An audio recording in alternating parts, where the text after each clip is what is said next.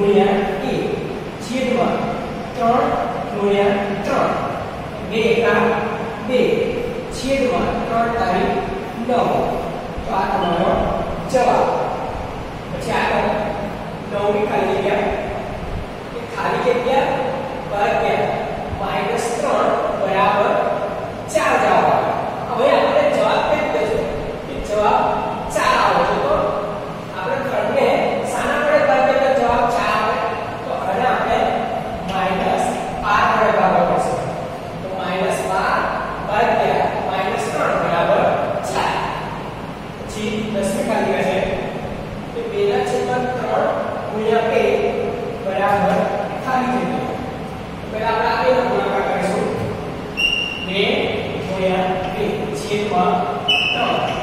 别不价切滑到。હવે જો તમારા અને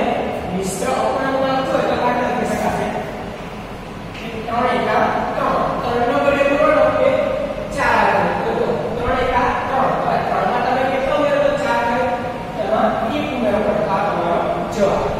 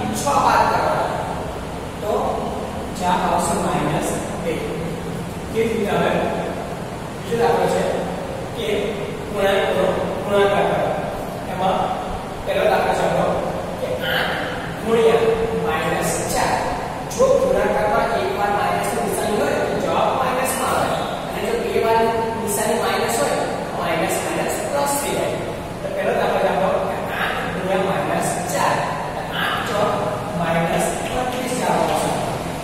પછી બીજો દાખલો છે 0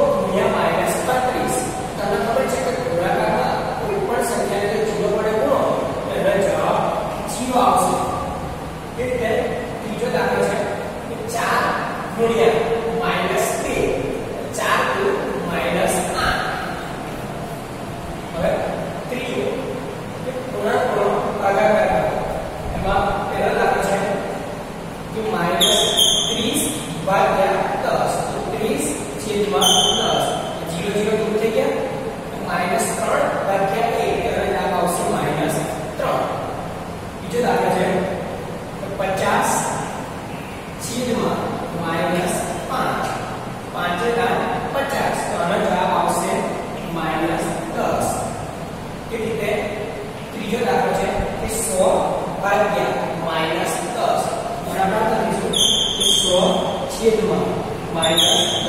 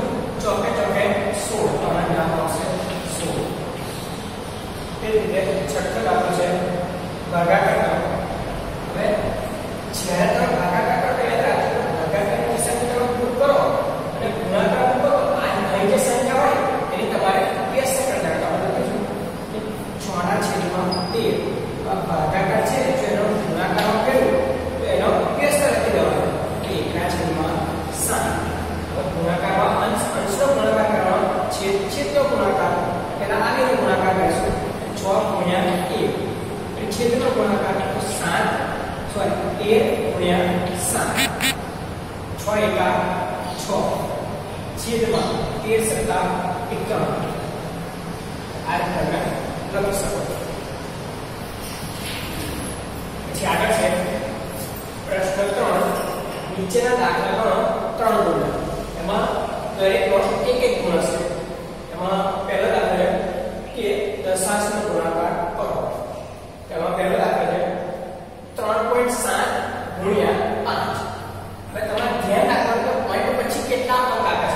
જો પોઈન્ટ પછી એને એક અંક છે તો છેદમાં તમારે 10 મૂકી દેવાના જો પોઈન્ટ પછી બે અંક હોય તો છેદમાં 100 મૂકી દેવાના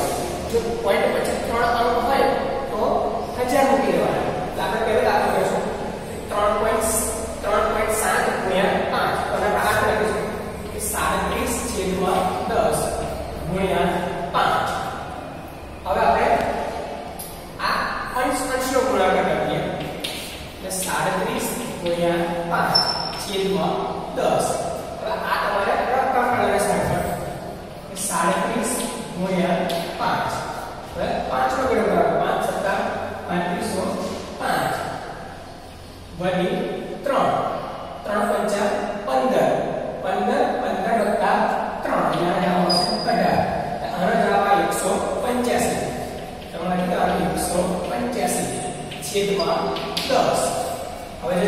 દસ છે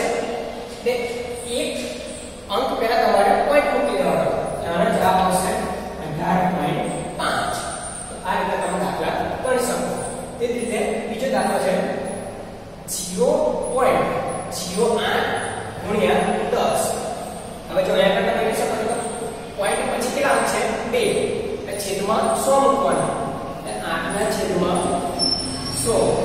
ગુણ્યા દસ આ જીરો જીરો દૂર થઈ જશે એટલે અંશમાં વધશે આઠ બનશે દસ હવે જો અઢારમાં હોય તો થશે જીરો પોઈન્ટ આઠ